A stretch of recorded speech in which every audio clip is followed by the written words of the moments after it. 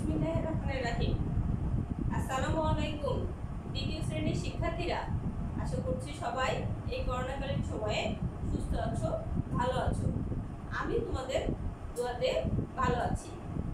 আমি আজকে তোমাদের দ্বিতীয় শ্রেণির পরিবেশ পরিচিতির অষ্টম অধ্যায়, গাছ, ফুল ও ফল এই অধ্যায় নিয়ে আলোচনা করব। প্রথমে আমরা গাছ সম্পর্কে একটু জেনে নিই। দেখো, আমরা তো এটা জানি যে জীব দুই প্রকার, উদ্ভিদ এবং প্রাণী। এই উদ্ভিদ বা গাছ, এদেরও তাহলে জীবন আছে, তাই না এখন উদ্ভিদ কিন্তু খাদ্য গ্রহণ করে ছোট থেকে বড় হয় বংশ বিস্তার করে বংশ বিস্তারটা কি বোঝো অর্থাৎ একটা উদ্ভিদ বা একটা গাছ থেকে অনেক চারা গাছ তৈরি হয় তাই না এটি কিন্তু আসলে উদ্ভিদের বংশ বিস্তার করা আচ্ছা এখন দেখো কিন্তু উদ্ভিদ কিন্তু প্রাণীদের মতো চলাফেরা করতে পারে না আবার দেখো প্রাণীদের হাত পা চোখ মুখ কান নাক এগুলো বিভিন্ন অঙ্গ প্রত্যঙ্গ আছে উদ্ভিদের সেরকম অঙ্গ প্রত্যঙ্গ না থাকলেও উদ্ভিদের কিন্তু বিভিন্ন অংশ আছে। উদ্ভিদের শরীরের বিভিন্ন অংশগুলো সম্পর্কে এখন আমরা জানব। দেখো, তোমরা বোর্ডের চিত্রটার দিকে খেয়াল করো। দেখো, একটা উদ্ভিদের প্রধান অংশ হচ্ছে পাঁচটি। মূল, কাণ্ড, পাতা, ফুল ও ফল। আমরা এখন এই চিত্রটার দিকে খেয়াল করি। দেখো, মাটির নিচে যে অংশটা থাকে এটাকে বলা হয় হচ্ছে মূল। এই মূলের কাজ হচ্ছে উদ্ভিদকে মাটির সাথে আটকে রাখা। এছাড়া মাটি থেকে পানি এবং খাদ্য রস গ্রহণ করে এরা কি করে? উদ্ভিদকে খাদ্য এবং পানির যোগান দেয়। এরপরে দ্বিতীয় অংশ হচ্ছে কাণ্ড। কাণ্ড হচ্ছে উদ্ভিদকে মাটির উপর শক্তভাবে দাঁড়িয়ে থাকতে সাহায্য করে। এছাড়া এই কাণ্ড থেকে উদ্ভিদের কিন্তু ডাল, পালা পাতা এগুলো তৈরি হয়। আর কাণ্ডের আরেকটা কাজ হচ্ছে মূল যে পানি এবং খাদ্যরস গ্রহণ সংগ্রহ করে সেটাকে হচ্ছে পাতা পর্যন্ত পৌঁছা দেওয়ার কাণ্ড করে হচ্ছে এই কাণ্ড। এবার তিন নম্বর অংশ হচ্ছে পাতা। পাতা তো আমরা সবাই চিনি, ঠিক না? পাতাটা হচ্ছে উদ্ভিদের সবচেয়ে সবুজ অংশ যেটা এবং প্রশস্ত অংশ আহ, এই পাতার কাজ হচ্ছে উদ্ভিদের খাদ্য তৈরি করা। সবুজ বিধায় উদ্ভিদ যে খাদ্য তৈরি করে, সেই খাদ্যটা তৈরি হয় হচ্ছে পাতায়। এবং পাতায় তৈরি হওয়ার পরে পাতা থেকে আবার শরীরের বিভিন্ন অংশে, অর্থাৎ শরীরের কাণ্ড পাতা, ফুল, ফল এবং মূলে সব জায়গাতে সেই খাদ্যটা আবার পৌঁছায় যায়। তাহলে প্রধান প্রধান কাজ যেটা উদ্ভিদের খাদ্য তৈরির কাজ, সেটা কে করে? পাতা। এবার দেখো পাতার পরে হচ্ছে ফুল। ফুল আমরা বিভিন্ন ধরনের ফুল দেখছি, তাই না? জবা ফুল, তারপরে এখানে আমি অবশ্য জবা ফুল দেখাইছি তোমাদের। যদিও এতটা সুন্দর চিত্র হয় নাই, তারপরেও মনে হয় বোঝা যাচ্ছে একটু হলেও যে এটা জবা ফুল। জবা ফুল, গোলাপ ফুল, গাঁদা ফুল, এগুলো তো আমরা সচরাচর সবসময় দেখতে পাই। এই ফুলগুলো কিন্তু বিভিন্ন ফুল বিভিন্ন কালারের হয়, তাই না? এই ফুলগুলো বিভিন্ন কালার হওয়াতে আমাদের আকর্ষণ সৃষ্টি হয় আমরা হচ্ছে সৌন্দর্য বৃদ্ধি করে এই ফুল। আবার এই ফুল পোকামাকড় সহ বিভিন্ন কীটপতঙ্গকে আকৃষ্ট করে। আর আকৃষ্ট করার কারণে এর মাধ্যমে উদ্ভিদের বংশবিস্তারের প্রধান অংশই কিন্তু হচ্ছে ফুল। উদ্ভিদ যে বংশবিস্তার করে এবং তার হচ্ছে নতুন জীবের জন্ম দেয়, সেটা হচ্ছে এই ফুলের মাধ্যমেই। এবং এই ফুলই পরিবর্তিত হয়ে পরবর্তীতে ফলে পরিণত হয়। আমরা বিভিন্ন ধরনের যে ফল খাই, এই ফলগুলো কিন্তু কোথা থেকে তৈরি হয়? এই ফুল থেকেই কিন্তু তৈরি হয়। তাহলে আমরা উদ্ভিদের বিভিন্ন অংশ সম্পর্কে জানলাম। এখন আমরা আলোচনা করব তোমাদের বইয়ে যে অংশগুলো দেওয়া আছে, এগুলো সম্পর্কে। দেখো, তোমরা একটু বই সবাই খেয়াল করো। দেখো, বইটা দেওয়া আছে, আমরা জানি গাছের জীবন আছে। গাছ খাবার খেয়ে বেঁচে থাকে। কিন্তু গাছ হাঁটা চলা করতে পারে না। আমাদের যেমন হাত, পা, চোখ, মাথা বিভিন্ন অঙ্গ রয়েছে, তেমনি গাছেরও বিভিন্ন অংশ রয়েছে। উদ্ভিদ বা গাছের প্রধান অংশ হলো মূল কাণ্ড, পাতা, ফুল ও ফল। তাহলে উদ্ভিদের প্রধান অংশ কয়টা হচ্ছে? পাঁচটি। গাছের মূল মাটির নিচে থাকে। মূল গাছকে মাটির সাথে শক্ত করে আটকে রাখে এবং মাটি থেকে খাদ্যরস সংগ্রহ করে। গাছের গাছের দেহকে কাণ্ড বলে। এই যে আমরা চিত্র দিকে যদি খেয়াল করে দেখি, এটা হচ্ছে কাণ্ড। এই যে এই অংশগুলো হচ্ছে কাণ্ড। কাণ্ড গাছকে মাটির উপরে সোজা করে ধরে রাখে এবং মূলের সাহায্যে সংগৃহীত খাদ্যরস পাতায় পৌঁছে দেয়। কাণ্ড থেকে শাখা বা ডাল বের হয় ডালে পাতা এবং ফুল হয়। গাছের ডালে কুড়ি থেকে ফুল ফোটে। কুড়ি বলতে কুড়ি জিনিসটা কি? আসলে আমরা দেখি প্রথমে কি হয়? কলি তৈরি হয়, তাই না? একটা ছোট অংশ উদ্ভিদের পাতা বা ডালের মাঝখান থেকে ছোট ডালের মতো ছোট অংশ তৈরি হয়। সেই অংশটা পরিবর্তিত হয়ে প্রথমে কলি তৈরি হয় এবং কলি থেকে পরবর্তীতে ফুল এবং ফুল থেকে পরে ফলে পরিণত হয়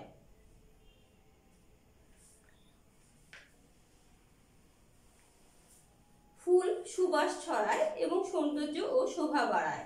তাছাড়া গাছের বংশবৃদ্ধিতে ফুলের কাজই প্রধান। অর্থাৎ যেহেতু ফুল থেকে ফল তৈরি হয় এবং ফলের মধ্যে বীজ সৃষ্টি হয়, আর আমরা জানি বীজ থেকে নতুন উদ্ভিদের বা গাছের জন্ম হয়। তাই মানে গাছের বংশবিস্তারের প্রধান কাজই করে কে? ফুল। ফুল থেকে ফল হয় এবং ফল থেকে বীজ হয়। বীজ থেকে নতুন চারা গাছের জন্ম হয়। গাছ আমাদের অনেক উপকার করে। এবার আসলে আসতেছে আমরা গাছের উপকারিতা, অর্থাৎ গাছ আমাদের কি কি উপকার করে? গাছ আমাদের অনেক উপকার করে, যেমন গাছ আমাদের ফল দেয়, কাঠ দেয় ছায়া দেয়, পাখিদের আশ্রয় দেয়। বেঁচে থাকার জন্য আমরা গাছ থেকে অক্সিজেন পেয়ে থাকি। মূলত দেখো, অন্য সব জিনিস যেমন প্রধান সবচেয়ে বড় বেঁচে থাকার প্রধান উপাদান যেটা, সেটা হচ্ছে অক্সিজেন এই অক্সিজেনটাই পাই আমরা কোথা থেকে? উদ্ভিদ থেকে। মোট কথা, গাছ আমাদের অন্ন, বস্ত্র এবং বাসস্থানের ব্যবস্থা করে। অন্ন কীভাবে দেয় সেটা তো আমরা এর আগের ক্লাসে আমি তোমাদেরকে বলেছি, তাই না? আমরা বিভিন্ন ধরনের খাদ্য যে গ্রহণ করি ভাত তরি তরকারি, ফলমূল, এই খাদ্যগুলো কিন্তু আমরা কোথা থেকে পাই? আমরা কিন্তু সবই উদ্ভিদ থেকে পাই। তার মানে অন্নের ব্যবস্থা করতে এসে বস্ত্র, অর্থাৎ কাপড় চোপড় তৈরি হয় তৈরি করার জন্য যে সুতা, তুলা, এগুলো কোথা থেকে আসে? বিভিন্ন রকমের গাছ থেকে আসে। আবার বাসস্থানের ব্যবস্থা, অর্থাৎ দেখো বিভিন্ন ধরনের প্রাণীরা কিন্তু গাছে বাস করে। আবার আমাদের মতো যারা সভ্য প্রাণী, তারা যে বাসায় বসবাস করে, এই বাসায় বিভিন্ন ধরনের আসবাবপত্র খাট, পালং এগুলো তৈরি হয় কোথা থেকে? এই গাছপালা থেকেই কিন্তু। তারপরে গাছ আমাদের অন্য বস্ত্র এবং বাসস্থানের ব্যবস্থা করে। গাছ আমাদের পরম বন্ধু, তাই আমরা সবাই গাছ লাগাবো এবং এর যত্ন নেব। তাহলে আমরা এইটুকু পরে বুঝলাম। এবার এই যে আলোচনা করলাম, এই আলোচনার আলোকে আমরা পাঠ পর্যালোচনা করব। দেখো, প্রথম প্রশ্নটা আছে তোমাদের। গাছের কয়টি অংশ এবং কি কি? তাহলে এই চিত্র দিকে আমরা একটু খেয়াল করি, যদি এখানে ফলের ছবি দেওয়া নাই ফল একটা অংশ, তাহলে গাছের প্রধান অংশ কয়টি? পাঁচটি। কি কি? মূল, কাণ্ড, পাতা, ফুল ও ফল। এবার দেখো, দ্বিতীয় প্রশ্ন আছে, মূল কাকে বলে? মূলের কাজ কি? মূলটা কি? গাছের মাটির নিচে যে অংশ থাকে, তাকেই মূল বলে। মূলের কাজ হচ্ছে মূল গাছকে মাটির সাথে আটকে থাকতে, শক্ত করে আটকে থাকতে সাহায্য করে আর মাটি থেকে খাদ্য রস সংগ্রহ করে। এবার তিন নম্বর প্রশ্ন দেখো, কাণ্ড কাকে বলে? কাণ্ডের কাজ কি?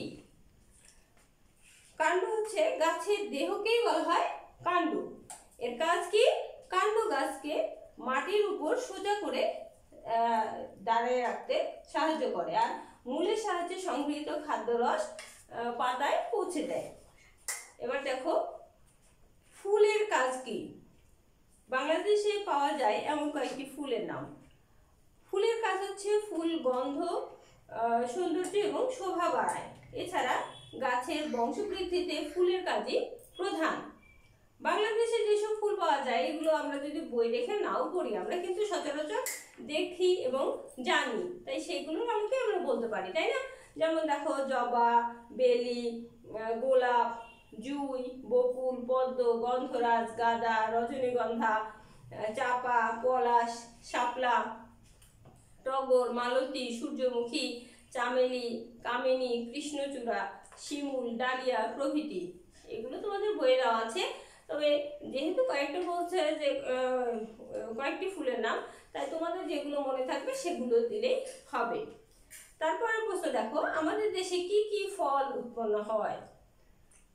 আমাদের দেশে আম, জাম, কাঁঠাল, কলা, লিচু, পেয়ারা, তরমুজ, তাল, বেল, বাঙ্গি কুল, পেঁপে, নারকেল আমড়া কামরাঙ্গা, আঙ্গুর, কমলা লেবু আনারস, সফেদা প্রভৃতি ফল উৎপন্ন হয়। অর্থাৎ আমাদের দেশে যেহেতু এখনও আমাদের দেশে কৃষি প্রধান দেশ এবং আমাদের দেশের মাটি অনেক উর্বর। বিভিন্ন অঞ্চলে অর্থাৎ আমাদের আহ, জেলাগুলোর বাংলাদেশের বিভিন্ন জেলাতে বিভিন্ন ধরনের ফল উৎপাদন হয়। তবে কিছু কমন ফল আছে যেগুলো আসলে সব জেলাতেই উৎপন্ন হয়। তাই না? আমরা কিন্তু দেখি আম জাম কাঁঠাল লিচু কলা এগুলো বাংলাদেশের সব জেলাতেই জন্মে। আর সব জেলাতেই পাওয়া যায় মানে যখন সিজন যেই ফলের যখন সিজন থাকে তখন পর্যাপ্ত পরিমাণে সেগুলো পাওয়া যায়। আচ্ছা এবার দেখো ফলের উপকারিতা কি? ফল পুষ্টিকর খাদ্য। এতে বিভিন্ন প্রকার ভিটামিন এবং ধাতব লবণ থাকে।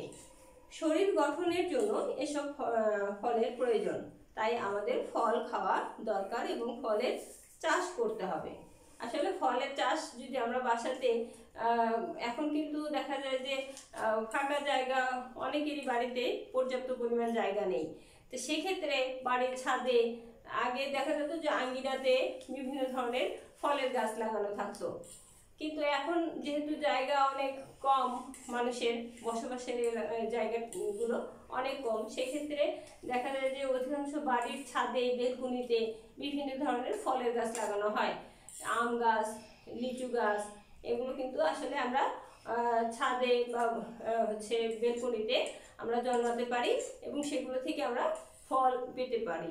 আবার বিভিন্ন ধরনের শাকসবজিও কিন্তু জন্মানো সম্ভব। এখন কিন্তু দেখো যে আগে আমরা দেখছি কলা গাছ, কাঁঠাল গাছ এগুলো সেভাবে কখনো আমরা দেখি নাই যে এগুলো কখনো আসলে ছাদে বা ড্রামে জন্মানো যায়। এখন কিন্তু সেগুলো মানুষ করছে এগুলো জন্মাচ্ছে এগুলো গাছ মানুষ বাড়ির ছাদে লাগাচ্ছে এবং সেগুলো থেকে ফলও পাচ্ছে। এবার দেখো আমরা পাট পরীক্ষা পড়ি। পাট পরীক্ষাতে দেখো প্রথমে আছে গাছের কয়টি অংশ ও কি কি। এটা কিন্তু আমরা বেশ কয়েকবার আলোচনা করলাম। আমরা আবার একটু বলি গাছের পাঁচটি অংশ এবং সেগুলো হচ্ছে মূল কাণ্ড, পাতা, ফুল ও ফল। মূল কাকে বলে? মূলের কাজ কি? মূল হচ্ছে মাটির গাছের যে অংশ মাটির নিচে থাকে এবং গাছকে মাটির সাথে শক্তভাবে আটকে রাখে সেই অংশকেই বলা হয় মূল। এর কাজ কি? মাটির সাথে শক্তভাবে আটকে রাখা এবং গাছের জন্য প্রয়োজনীয় খাদ্যরস সংগ্রহ করা। কাণ্ডের কাজ কি? কাণ্ডের কাজ হচ্ছে গাছকে সোজাভাবে মাটি থেকে সাথে এবং উপরের দিকে খাড়াভাবে শক্তভাবে আটকে থাকার জন্য কাণ্ড কাজ করে। আর তাছাড়া মাটি থেকে, মাটি যে সরি মূল যে খাদ্যটা সংগ্রহ করে, সেটাকে পাতা পর্যন্ত পৌঁছা দেওয়ার কার্য করে হচ্ছে কাণ্ড। এছাড়াও কাণ্ড আরেকটা কার্য করে, সেটা হচ্ছে পাতা, ফুল, ফল এগুলো ধারণ করে। ডালপালা এগুলো ধারণ করে। ফুলের কাজ কি? ফুলের কাজ হচ্ছে গন্ধ ছড়ানো, সুগন্ধ ছড়ানো এবং সৌন্দর্য বাড়ানো এবং শোভা বাড়ানো। এছাড়া প্রধান কাজ কি? বংশ বিস্তারের প্রধান কাজ করে হচ্ছে ফুল। তারপরে দেখো, গাছ আমাদের কি উপকার করে? গাছ কিন্তু অনেক উপকার করে, তাই না? গাছ কি কি উপকার করে? গাছ আমাদের ফল দেয়, কাঠ দেয়, ছায়া দেয়, পাখিদের আশ্রয় দেয়। আমাদের বেঁচে থাকার জন্য যে অক্সিজেন দরকার, সেই অক্সিজেন দেয়। অর্থাৎ মোট কথা কি? গাছ আমাদের অন্ন, বস্ত্র এবং বাসস্থানের ব্যবস্থা করে। তাই গাছ আমাদের বড় বন্ধু। এবার বলছে, দশটি ফুলের নাম বলো। এগুলো কিন্তু আমরা পারবই। এবং বইয়েতেও দেওয়া আছে। আমরা এখান থেকে বাছাই করে যদি বলি, দেখো, জবা, গোলাপ, গন্ধরাজ তারপর ডালিয়া, গাঁদা, কামিনী এরকম আরও কয়েকটা ফুলের নাম যদি আমরা দেখি, বকুল, শাপলা, পদ্ম, রজনীগন্ধা, গন্ধরাজ, শিমুল। এই এই ফুলগুলো দেখো, আমাদের সূর্যমুখী, এই দশটা বারোটা ফুলের নাম হয়ে গেল। এরপরে দেওয়া আছে দশটি ফলের নাম। আমাদের যেসব ফল বেশি পছন্দ, সেগুলো ফলের নামগুলো আমরা আগে দেই। যেমন দেখো আম, জাম, কাঁঠাল, কলা লিচু, তারপরে তরমুজ, তাল বাঙ্গি কুল পেঁপে, নারকেল, কামরাঙ্গা, এই ধরনের আমরা দশটা ফলের নাম কিন্তু সবাই দিতে পারব। এবার বলছে, ফলের উপকারিতা কি? সবচাইতে পুষ্টিকর, আমরা যত ধরনের খাবার খাই, এগুলোর মধ্যে সবচেয়ে পুষ্টিকর খাদ্য কি? ফল, তাই না? এতে বিভিন্ন প্রকার ভিটামিন এবং ধাতব লবণ থাকে। শরীর গঠনের জন্য এসব ফলের প্রয়োজন। তাই আমাদের কি করতে হবে? ফল খেতে হবে। পর্যাপ্ত পরিমাণে ফল খেতে হবে। এবার আসি আমরা অনুশীলনী শূন্য স্থানে। দেখো, ক নম্বরে আছে, গাছের ড্যাশ আছে। গাছের কি আছে বলো তো জীবন আছে। খ নম্বর আছে, গাছের মূল ড্যাশ নিচে থাকে। গাছের মূল কোথায় থাকে? মাটির নিচে থাকে, তাহলে শূন্যস্থানে কি বলবে মাটির। ডালে ড্যাশ ও ফুল হয়। ড্যাশ ডালে কি হয় বলো তো? এই যে ডালগুলো তৈরি হচ্ছে, এই ডাল থেকে কি কি তৈরি হয়? ডালে ফুল এবং তোমাদের বয়ে যেতে দেওয়া আছে, ডালে পাতা এবং ফুল হয়। তাহলে এখানে কি হবে? পাতা। ফুল থেকে ড্যাশ হয়, ফুল থেকে ফল হয়। বীজ থেকে নতুন ড্যাশ জন্ম হয়, বীজ থেকে নতুন গাছের বা উদ্ভিদের জন্ম হয়। আমরা দিতে পারি এখানে কি? গাছে, চারা গাছে অথবা উদ্ভিদেরও দিতে পারি। এবার দেখো আমরা সঠিক উত্তর করব। সঠিক উত্তরে দেওয়া আছে, গাছের দেহকে কি বলে? গাছের দেহকে কি বলে বলো তো? এই গাছের, এটা এটা হচ্ছে দেহ, এই দেহকে কি বলা হচ্ছে? কাণ্ড। তাহলে এখানে উত্তরটা হবে দুই নাম্বার, কাণ্ড। খ নাম্বার, ফুলের প্রধান কাজ কি? এখানে দেওয়া আছে খাদ্য সংগ্রহ করা, খাদ্য তৈরি করা, বংশবৃদ্ধিতে সাহায্য করা পাতায় খাদ্য পৌঁছে দেওয়া। আমরা কিন্তু বলছিলাম যে ফুল থেকে ফুল কিসে পরিণত হয়? পরবর্তীতে ফলে পরিণত হয়। তাহলে ফুল থেকে, ফুলের কাজ কি? বংশবৃদ্ধিতে সাহায্য করা। কারণ আমরা জানলাম যে ফুল থেকে ফল তৈরি হয় আর ফল থেকে আবার বীজ তৈরি হয় এবং বীজের মাধ্যমে উদ্ভিদ নতুন গাছের জন্ম দেয়, নতুন চারা গাছের জন্ম দেয়। তার মানে ফুল হচ্ছে বংশ বিস্তার বংশ বিস্তারে বংশ বৃদ্ধিতে সাহায্য করে। এবার দেখো ফল থেকে কি হয়? ফলের মধ্যে কি খাই আমরা? আমরা যে বিভিন্ন ধরনের ফল খাই, ফলের মধ্যে কি থাকে বলতো? বিচি থাকে, তাই না? এই বীজটাকে বলা হচ্ছে কি বীজ। তাহলে দেখো এখানে উত্তর কোনটা আসতেছে? দুই নম্বরটা, বীজ। আমরা গাছ থেকে কি পাই? গাছ থেকে আমরা কি পাই বলতো? অক্সিজেন পাই, এই তো। তাহলে দেখো আমরা এ অধ্যায়ে অনুশীলনী সবগুলো নিয়ে আমরা আলোচনা করলাম এবং অধ্যায়ের মোটামুটি আমি তোমাদেরকে সবটুকু নিয়েই আলোচনা করার চেষ্টা করলাম। তোমরা যদি আরেকটু পড়াশোনা করো, তাহলে অনেক ভালো করতে পারবা, অনেক ভালো হবে তোমাদের পড়াশোনা। আরেকটু যদি নিজে থেকে পড়াশোনা করো, তাহলে এই অধ্যায় থেকে আমরা জানলাম গাছ কি, ফুল কি এবং ফল কি, তাই না? তাহলে গাছের প্রধান অংশ আমরা জানলাম যে পাঁচটি মূল কাণ্ড, পাতা, ফুল ও ফল এবং ফুল হচ্ছে কি কাজ করে? গাছ কি করে? গাছের উপকারিতা আমরা সম্পর্কে জানলাম। যে গাছ কিন্তু প্রধান কাজ যেটা, সেটা হচ্ছে আমাদের বেঁচে থাকার অক্সিজেন দেয়। আর তাছাড়া গাছ আমাদের অন্ন, বস্ত্র এবং বাসস্থানের ব্যবস্থা করে। তারপরে এসছে ফুল। ফুল হচ্ছে সুগন্ধ ছড়ায়, সৌন্দর্য বৃদ্ধি করে এবং শোভা বৃদ্ধি করে। এছাড়া ফুলের প্রধান কাজ যেটা, সেটা হচ্ছে বংশ বিস্তারে প্রধান ভূমিকা পালন করে। তারপরে আসছে ফল। ফলের উপকারিতা কি? ফল যেহেতু পুষ্টিকর খাদ্য, ফলে প্রচুর পরিমাণে ভিটামিন এবং খনিজ লবণ বা ধাতব লবণ থাকে। তাই আমাদের শরীরের জন্য আসলে এসব ভিটামিন এবং ধাতব লবণ প্রয়োজন। এসব জিনিস পাওয়ার জন্য আমাদেরকে প্রচুর পরিমাণে ফল খেতে হবে। তাহলে এই অধ্যায়ে আমি আশা করব যে তোমরা আরেকটু যদি পড়াশোনা করো, তাহলে খুব ভালো করতে পারবা। আজ এই পর্যন্তই। আবার পরবর্তীতে তোমাদের সাথে দেখা হবে অন্য কোনো অধ্যায় নিয়ে। আজ এখানেই বিদায় নিচ্ছি। আল্লাহ হাফেজ।